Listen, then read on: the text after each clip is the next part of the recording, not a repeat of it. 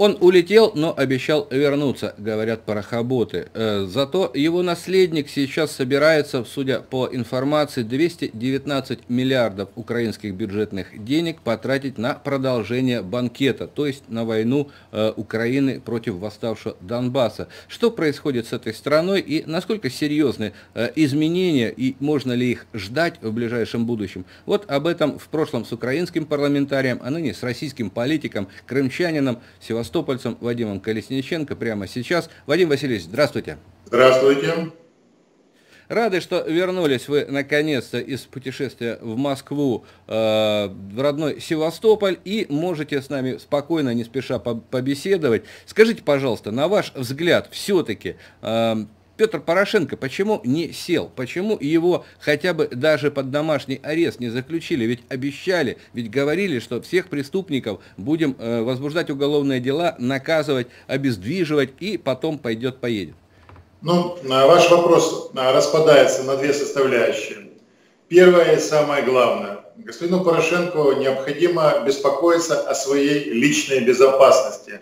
Чем он, насколько я знаю и серьезно озабочен – и э, даже находясь за границей, он очень серьезно занят вопросами организации и обеспечения личной безопасности своей и членов своей семьи. Причина – это уже вторая составляющая. Фигура Порошенко, она токсична для всех без исключения. И для внутриукраинского политикума, и для внешнего вектора. Почему? Одно дело на выборах говорить, что мы его посадим, распнем, конфискуем – а другое дело сделать это в реале. Потому что если Порошенко попадет на скамью подсудимых, он, конечно же, начнет говорить. А говорить не совсем то, что хотел бы слышать так называемый про западный, проукраинский политикум и те, кто финансировал, организовывал государственный переворот. Защищая себя, он начнет топить американскую элиту, европейскую элиту и, самое страшное, своих подельников э, в Украине, часть из которых и сегодня э, избрана во власть и будет там находиться постоянно. Поэтому э, ритуальные пляски по поводу накажем, не простим, посадим, они будут продолжаться. Если бы хотели посадить, то никто бы его не выпускал из Украины. Это первое. Второе. Задача раздеть его максимально и э, держать его на расстоянии откровенно говоря, не факт, что он не попытается вернуться, как это и делал господин Саакашвили. У них, по сути, одинаковая судьба. Но э, он, насколько известно, послал гонцов осенью прошлого года и в Москву, и в Германию, и в Штаты. Он везде ищет свою поддержку и защиту. В обмен на деньги, в первую очередь. Ну, а потом на, в обмен на со, совмещение своих интересов. Трампу он откровенно говоря, немного интересен для борьбы с Байденом. Он мог бы его использовать и потом выкинуть как использованное резиновое изделие. То же самое и Трамп, извините, Эрдоган. Он может получить деньги, а потом от него избавиться от господина э, э, Порошенко по одной простой причине. Он не выгоден э, в политическом плане самому Эрдогану, потому что это осложнение отношений с Украиной а это существенная часть доходов для турецкого э, бизнеса. И э, в данном случае он бы, конечно, может малую долю взять, но это не все то, что дает оборот денег с Украины. Следовательно, Порошенко сегодня мечется, как крыса, загнанная в угол. Э, поэтому не факт, еще раз говорю, что его посадят, не факт, что его хотят посадить, те, кто имеет на это право, но то, что он будет искать защиту, это однозначно. Вадим Васильевич, ну а тем временем наследник Петра Алексеевича Порошенко, человек, который сказал, что сделаю все, что можно и нельзя, чтобы прекратить войну, ну совсем как Порошенко в мае 2014 года, да, две недели война закончится, э, собирается подписывать 219 миллиардов гривен бюджета, это почти 5% ВВП страны, сегодняшний еще пока 5%, да, на продолжение банкета под названием «Война». На ваш взгляд, почему команда ЗЕ продолжает э, без воинственной риторики, тем не менее, военные действия. Ну, последуешь Порошенко, он ничем не изменяется, он ничем не отличается. Это те же яйца, только в профиль. Это народная поговорка, это все цензурно. А, проблема в чем? Зеленский уже многократно и однозначно сказал, Россия воров, дайте нам оружие, и мы будем себя защищать. А дальше уже разбираться нет э, проблем. Какая будет внешняя политика господина Зеленского по отношению к России, к Европе и к Америке. Но есть интересная составляющая. Ну, первое, то, что оборонный бюджет растет, обозначает, что напряжение на линии соприкосновения с ЛНР, ДНР будет расти. А, тревожит другое, увеличение в два раза военного бюджета, даже по сравнению с бюджетом Порошенко – таким воинственным армавиром. А, давайте мы углубимся внутрь вот этого проекта. А здесь уже интересно, более интересно. Половина этого бюджета будет направлена или планируется направить на материальное обеспечение военнослужащих. О чем это говорит? Если Порошенко использовал военный бюджет, в том числе, в первую очередь, для отмывки, потому что на материально-техническом обеспечении гораздо удобнее воровать, ну, на оружие и схема прячется. Отвоевались, и оружие исчезло. А вот э, моральный дух так называемых защитников, бандитов, которые убивают мирных граждан э, Донбасса, оно стало падать. Это и дезертирство, это и отказ стрелять, и отказ подчиняться, и самоубийство, и внутреннее убийство, и разборки. Это все ведет к моральной потере духа этой э, украинской армии. Поэтому понятно, с чего хочет добиться Зеленский. Сохраняя риторику, сохраняя вооружение, обеспечить деньгами защиту этой территории и защиту тренда под названием «Все на войну с Россией». Вот это реально тревожит. Ну и еще один лозунг «Все на войну с Россией», «Все на победу, для победы против России» – это создание информационного канала на русском языке, украинского. Против этого выступают, на удивление, украинские националисты, не понимающие действительно красоту игры Владимира Александровича. Но с другой стороны, вот скажите мне, пожалуйста, как человек, который не только смотрит телевизор, но иногда и выезжает на федеральные телеканалы для того, чтобы пообщаться, а зачем Вовке тратить деньги, деньги, когда за него эти самые федеральные каналы антироссийскую пропаганду тянут уже несколько лет, когда мы вместо интересных политических программ вынуждены смотреть вот эти вот клоунские шоу э, с нанятыми актерами, э, которые э, исполняют роли. Карейба исполняет роль там упоротого какого-то бандеровца, кто-то еще какую-то роль выполняет. Нет, Карейба польского шляхтича, кто-то еще какую-то. У каждого своя роль, каждый играет по правилам. Если приходит украинский эксперт и вдруг не по правилам себя ведет, его больше не приглашают на наши каналы. Он должен быть болванчиком, идиотом, крикуном, перебивающим всех. А еще лучше, если он либо даст кому-то по морде, либо начнет душить, как Челенко вчера душил Кореева, либо его самого по морде побьют и по лысине ему настучат. То есть вот, э, в принципе, Савелий Михайлович Шустер, э, которого вернули на Украину и который наверняка будет в антироссийской пропаганде, как и в Афганистане в свое время, воевать на этом фронте, вот сейчас э, мы еще и сами им помогаем. Вспомните, пожалуйста, Шустер, его программы и как вы те, кто действительно был конструктивистами, э, сначала побеждали безоговорочно всех этих клоунов, над ними смеялись, а потом эти клоуны и идиоты пришли к власти на территории Украины. Ну, вы затронули, к сожалению, очень серьезный пласт проблем, которые есть у нас в России. Это отсутствие государственной идеологии информационных э, вещательных каналов, э, которая подменяется, к сожалению, желанием получить временный хайп и, естественно, заработать на рекламном времени. И это тревожит все больше. Это не просто тревожит, это уже начинает раздражать. Э, если в 2014-2015 году таких информационных каналов было единицы, они работали раз в неделю, и действительно тема э, русской весны мобилизовала российское общество, и как-то появился единый вектор движения, то Сегодня, в условиях 21 века, эту тему давно уже пора было переварить и искать новые символы, новые смыслы, которые объединяют российское общество и определяют путь вперед. Но э, российские каналы увлеклись вот этим дешевым хайпом, к сожалению, через который мы прошли, как вы правильно сказали, на Украине. Сначала это было очень интересно, народ приучили к этому наркотику, интеллектуальные яркие шоу. Я э, действительно был участником этих шоу. А потом эти шоу превратились в источник и пропаганды, и промывания мозгов. Потому что э, когда люди привыкли к этому каналу, они ежедневно приходят э, к каналу, к телевизору с пивом, с чипсами, с орешками, либо с салатами и водкой и наблюдают, как там эти паны друг другу чувырывают.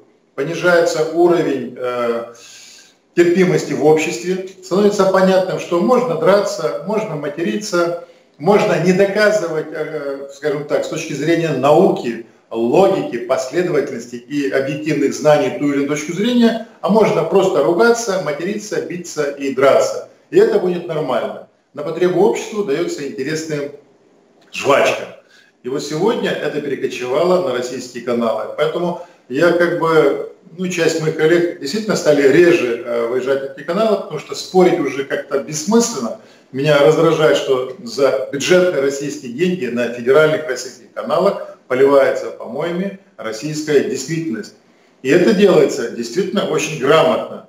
И часть этих болванчиков, нанятых клоунов с Украины, либо с Дальнего Запада, они не такие уж и дураки. Они четко отрабатывают свои деньги и ведут свою очень тонкую игру. Не буду поглощать э, время этими нюансами, желающие это все увидеть, и услышать и понимают, но информационная война в 21 веке – это ключ к успеху для того, чтобы разложить и уничтожить любое государство. Это нужно понимать, это нужно знать, и этим нужно умело пользоваться. Не случайно информационные воинские подразделения сегодня есть во всех армиях мира. Они являются очень главными и основными игроками. Недооценивать этого нельзя. И мы сами участники этой войны. Но мы пытаемся по-своему донести правду и объяснить людям, что происходит. Но наш посыл, увы, маленький, сигнал небольшой. Так что будем дальше продолжать свое важное дело. Вчера очень интересное расследование, короткое видео к нему было приложено. Э, посмотрел, там некий господин, по-моему, фамилия его Жданов, э, в красных трусах и в черной майке, футболке. Э, как он манипулировал, как он руководил массовкой 27 июля в Москве. А я ведь вспоминаю Симферополь, ребят в красных курточках, которые манипулировали, которые и толкали сзади аскеров на вот, противостояние с нами 26 февраля. Э, и ходили, разводили этих татарских э, болванчиков, пацанов, которых вывел туда Меджлис, да, причем сзади стояли нормальные э, русские и татары, пили вместе кофе, держа флаги с тамгой и триколор они общались между собой. А вот экзальтированных, заведенных вот этими парнями в красных куртках, э, было не остановить. И я видел, как это все делается. Мы видели, как на Майдане это все делалось. И вот сейчас в Россию заходит Майдан. Люди, которые считают себя правильными, патриотами страны, начинают говорить, что вот надо идти с этой молодежью. Молодежь хорошая, девочка 17-летняя матершинница, которую там э, показывали, которая с Конституцией сидела точно так же, как за сутки до этого девочка в Гонконге с зонтиком сидела перед строем полицейских. Беременная женщина, которую держал мужчина. Технологии самые простые, самые очевидные, для дебилов сделаны. Дебилы это все смотрят, жрут с удовольствием. А потом, вот как у нас тут Дима один был такой бандеровец в Крыму, который правому сектору скидывал э, дома домашние адреса крымского Беркута, где жены и дети живут, да? А сейчас этот Дима уже гражданин России и член Единой России, где-то в Магадане получил это э, партиист, партийность эту получил. Я, я в шоке, я писал политтехнологам, ребята, говорю, вы кого к себе взяли? Это урод, которого крымский Беркут ищет, чтобы просто убить. Он подставлял жен и детей наших беркутят. Нет, он и хороший, он единорос, не то что Веселовский, как был сепаратистом, так и остался. Так вот, я просто к тому, что вот эти твари работают качественно, эффективно. Мы сейчас, по-моему, только начинаем соображать, как это работает. Мы начинаем заслоны делать, противоставлять это, ну, э, то, что можем противопоставить. Вот Следственный комитет работает. На ваш взгляд, уроки украинского почему оказались за пять лет забыты и совершенно не выучены? Ну, вы, к сожалению, сделали очень верный анализ. А, я бы в эту философию пролил бы и на оранжевый Майдан 2004 года, и а, Майданы арабские. Это технология один в один. Вот понимаете, что больше всего раздражает и бесит? С нами поступают как с туземцами. Даже не надо вспомните четвертый год и 13-14 год. Даже листовки распространялись среди членов Майдана на арабском языке. Там схемы были. Что делать, как делать, там коктейли Молотова, маски и противодействие силам правопорядка. Знаете, что меня э, в данном случае беспокоит? Есть реальные ошибки ныне действующей власти, э, реальное непонимание того, что происходит, либо нежелание, либо так называемые спящие, либо, э, знаете, вот потеря контроля над ситуацией из-за безнаказанности, из-за нежелания мыслить, из-за желания сохранить свое рабочее место сегодня и сейчас и не привлекать к этому внимания. Вот это действительно беспокоит. Э, на самом деле, а ведь чего, что происходит? Ведь наши оппоненты используют ошибки власти, либо недомыслие, либо скудоумие. Вопрос с собираниями подписей, на выборы непарламентскими партиями. И, по сути, ну, хамское, циничное нежелание считаться с желаниями людей сказать свое слово во время избирательной кампании, оно выливается в такие инструменты. И на самом деле повод-то объективный. Другим, другое дело, что благими намерениями дороговат вымощено. Так и этих детей там притянули. Зарегистрируйте, зарегистрируйте. С точки зрения закона все сделано правильно. Но кто создавал такой закон, что его можно использовать как дышло? И зачем такой закон, который делает э, нас темненькими и беленькими? Одним можно просто так избираться, а другим нужно пройти сито, которое потом по команде превращается в забор. Ну, кстати, я, насколько знаю, и вы э, попали в этот же молоток достаточно странных нормативных требований, и когда кандидат не виноват в том, что э, его подвели либо подставили сложной технологической схемой кольев, которые не дают желающему принять участие в избирательной кампании. Я полагаю, раз мы в демократической стране, раз у нас гарантирована Конституция всеобщее равное избирательное право, дайте, пожалуйста, это равное избирательное право. А потом в равных условиях докажите, что власть имущие умнее, сильнее и организованнее. Но когда на взлете бить в дых, либо в спину, либо коленом в живот, и после этого говорить, ну давайте мы возьмемся за руки, друзья, на нас надвигается пучина темной опасности, и мы попадаем в глупое положение. Либо мы пятая колонна, потому что мы расшатываем основы государственности, либо мы патриоты, которые эти основы государственности пытают защитить от зажравшихся чиновников. Вот где беды находятся.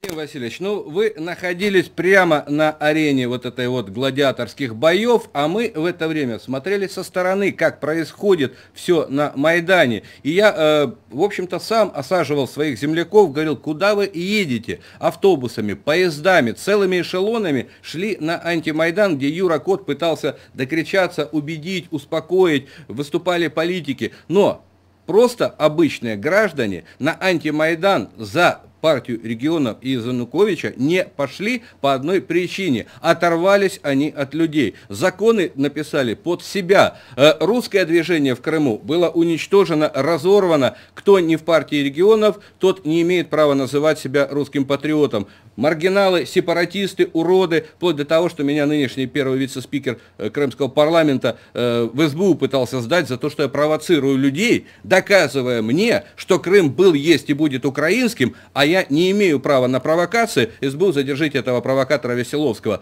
Через 2-3 дня они все уже стали молодцами, они уже там были вот героями русской весны, и сегодня везде хвалятся, что мы партия Крымской весны. Тогда вопрос, а где все мы, которых оттолкнули, которые делали русскую весну в Крыму, потом кто-то из нас на Донбасс поехал воевать, почему мы, оказывается, не партия Крымской весны, почему нас надо вот так вот, и люди обижаются. Вот когда нету справедливости, то люди не хотят идти за тех, кто их этой справедливости решил. И предупреждаешь, не предупреждаешь. Говорят, ну, так надо, зато есть закон. А потом даже мне член Центра избиркома говорит, Сергей Михайлович, мы понимаем, что по совести вы правы, но по закону вы не правы. Извините, не обижайтесь, но закон и совесть не всегда идут э, рука об руку. Так значит, законы делайте такие, чтобы совесть и закон стояли рядом. Зачем вы э, э, отталкиваете э, хороших людей и бросаете их вот в ту помойку болотную, которая вот там сейчас бурлит. Я не хочу, чтобы эта помойка победила. Я знаю весь ужас украинский, и вы знаете. Но вот как остановить людей, как сделать так, чтобы они все-таки э, переступили через эту обиду? Ведь многие обиделись. И у вас в Севастополе, я знаю, товарищи, которые очень крепко обиделись. Ну, вы сказали ключевое слово – справедливость. Основа российской ментальности, основа российской государственности, она всегда была э, базовым принципом справедливости. Это то, что всегда вело людей к каким-то свершениям. И даже в борьбе за отчизну, вот почему никак не понимают русских воинов, которые погибают в безвестии, понимая, что смерть, но человек идет эту смерть по одной простой причине. Он воюет по справедливости за родину, за семью, за отечество, за свое государство, понимая, что это государство – это его лона, это его мать и отец. А часть чиновников, к сожалению, этим пользуется, не использует цели. Что происходит? Происходит подмена понятия. Действительно, политический олимп забраться тяжело. Но когда власть имущие туда приходят, в боязни за то, что они не смогут своей интеллектуальной составляющей обеспечить себе постоянное политическое превосходство, они создают частокол из принятия нормативных документов. Это законы, которые обеспечивают для себя для тех, кто уже на политическом Олимпе, определенную неприкосновенность. А для тех, кто желал бы туда попасть, создается из этих же законов частокол сложностей, которые им не позволяют прийти на тот же политический Олимп. Это ошибка. Если в нулевые годы это было нужно, чтобы собрать по кочкам э, страну, чтобы обеспечить ее централизацию, обеспечение э, ее движения вперед, то в 2000 2015 и 2020 году это уже начинается стагнация. Здесь нужны реформы. И вот власть имущие по закону жанра должны это понимать и осознавать, потому что общество развивается. Но, как это всегда в российских реалиях, когда человек очень долго находится у руля, ему легче построить вокруг себя забор, чем вступить с кем-то в конкурентную борьбу, потому что есть у людей обоснованные претензии, на которые ответа нет. Э, вернемся на Украину и вспомним, ведь э, сколько приходило умничек, грамотных людей, и академик Толочка Петр Петрович, и другие, и регионалы-депутаты, тот же Ефремов, другие, приходили на политические ток-шоу. Они спокойно, взвешенно, с цифрами, по порядочку, раскладывали все по полкам, объясняли как, что и почему. Против них стояли фрики, истерики, э, популисты, кричали, э, кричалки свои, слоганы и говорили, что мы придем и все будет классно. В конце концов, большая часть часть э, этих грамотных политиков, регионалов, ушла с этих ток-шоу. Стали приходить, ну, депутаты по э, разнарядке, насколько я понимаю. Вас просто туда гоняли, ходите и отстаивайте свою позицию. То есть академиков там больше не было. То же самое я вижу сейчас на российских телеканалах. Все меньше и меньше интеллектуалов. Я обратил внимание, даже Никонов практически пропал э, из эфиров, не говоря уже о членах Совета Федерации, депутатах Государственной Думы. Единицы приходят. То есть э, стоят с одной стороны такие вот популисты-пропагандисты, с другой стороны популисты-пропагандисты. Кто кого перекричит? Потому что уважающий себя э, ученый, э, практик, депутат, он не будет с этими клоунами перекрикиваться. Вспомните, как э, Владимир Владимирович Корнилов стоял напротив этих уродов и молчал по часу и уходил, не сказав ни слова, потому что он воспитанный, корректный человек, он не мог через себя переступить, чтобы кого-то перебивать. Я уже не Попова два часа с половиной рядом с Сашей Коцем, по-моему, простоял, или с, э, в общем, с кем-то из авторов документального фильма, из наших ребят. Э, вот. И мы стояли и молчали, а там перебранка шла. И мы э, в перерывах в рекламных просто... А когда говорить-то, не дадут же сказать. Вот ситуация, когда крикуны э, победили умных людей, а люди наши слушают. На Украине крикуны победили сначала в студиях, а потом на Майдане. И у нас сейчас уже в студиях крикуны побеждают. Я э, просто низкий поклон тем людям, к тому же Корнилову, кто переступая через собственное достоинство, э, самоуважение, идет и перекрикивает их, пытается донести до людей э, слово правды, но ведь таких все меньше и меньше. Увы, это технологии. Знаете, я вам что должен сказать? Ну, я 15 лет в этом аду концертном э, находился. могу сказать честно, это очень утомляет. Ты понимаешь через какое-то время бессмысленность того, что ты делаешь.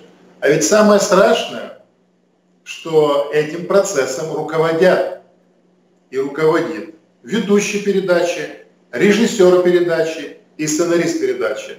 Вот в руках интеллектуальная составляющего и результативность этого проекта под названием ток-шоу. Если поставлена задача заработать деньги на рекламных паузах, повышении рейтингов, тогда вот то, что мы видим, работает. Хайп, скандал, крик и плебей, который сидит, пьет пиво с чипсами, ему это нравится. Понижается уровень социальной ответственности населения. А если ты хочешь добиться нормального движения, ведь нет никакой проблемы отключить э, микрофон у крикуна, не приглашать его на передачу, поставить его на место. Более того, довести просто э, норматив по времени одной и другой стороне. Но это не делается. А зачем? А кому нужна интеллектуальная составляющая? Она не приносит хайпа, человек переключается и рекламное время не зарабатывается. Следовательно, деньги во главе угла.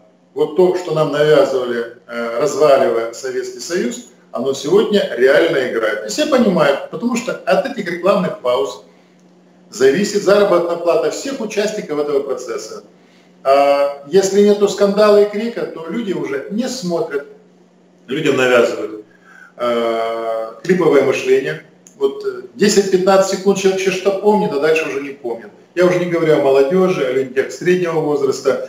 Э, действительно, это страшная проблема для нынешнего общества.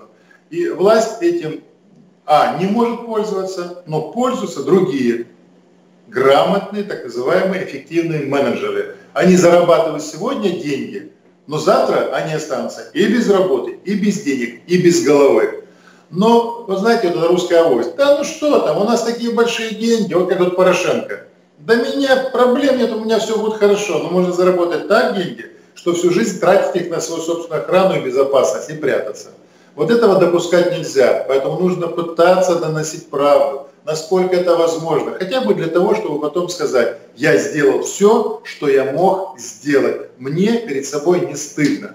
Вот, по сути, главный суд, который у нас есть, это вопрос суда собственной совести. Все ли ты сделал для того, чтобы обеспечить безопасность собственной страны и основы устоя государственности? Кстати, здесь очень характерно, что э, программу «Поединок» Владимира Соловьева сняли, хотя там был как раз тот самый регламент, когда людей никто не перебивал. Они могли по очереди, по времени отвечать, задавать вопросы, беседовать, вести диалог в режиме поединка. Вот этот поединок убрали потому что слишком интеллектуально, слишком все-таки нагрузно для тех, кого хотят сделать э, дровами будущего Майдана. Кто убрал поединок? Почему убрали? Почему пришли на смену вот эти вот э, жуткие шок-шоу ток-шоу с криками? Я не знаю. Эти вопросы мы, конечно, задаем, задаем постоянно, ответов ни разу не получали. Вадим Васильевич, но зато новостной фронт предоставляет возможность умным людям беседовать спокойно, не перекрикивая друг друга и донося свои мысли, правда, к сожалению, не до такой широкой аудитории, как у «России-1», Первого канала или НТВ. Огромное вам спасибо и так победим. Всего доброго. Здоровья, держитесь. Держимся. Итак, дорогие друзья, Вадим Васильевич Колесниченко был гостем программы «На самом деле». Пишите свои комментарии, задавайте вопросы, ну и репостите на нашем канале YouTube это видео, чтобы как можно больше людей его посмотрело, чтобы как можно больше, особенно молодых людей, задумалось, зачем и куда ведут Россию, и кто ведет. Почему кому-то очень хочется, чтобы у нас в стране случилась Украина. Всего вам доброго. Пока.